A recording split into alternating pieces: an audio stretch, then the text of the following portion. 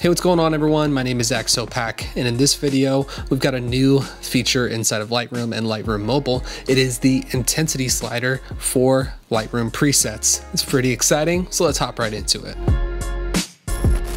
So I've got my photo pulled up here in Lightroom Mobile. I'm gonna go to my presets, go to the Zac Sopak preset pack, shameless plug.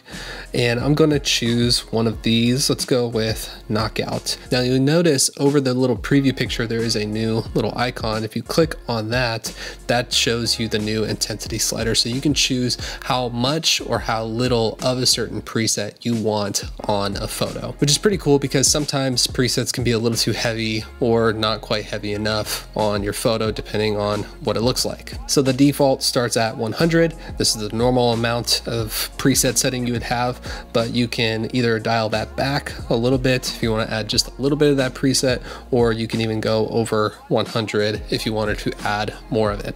So in this photo, I think I want to add about 70% or so. So here's our before and here's our after nice subtle change, but you get that little flavor of the preset. Now let's do that again with another photo. Go down to presets, hit Let's go with Noir and I'm going to mess with the intensity. This one, I think I might crank it up a little bit more. You can have a little more subtle or a little bit more contrast. I'm gonna go with that.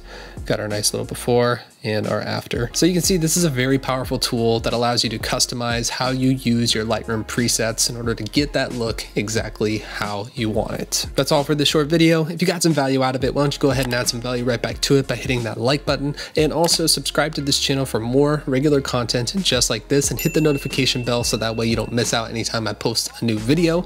And if you want more Lightroom content, I've got a full playlist with loads of information on how to learn to use this program and get the most out of it and start editing like a pro. Well, hey, until the next time, my name is Zac Sopak. I'll see you in the next video. Peace.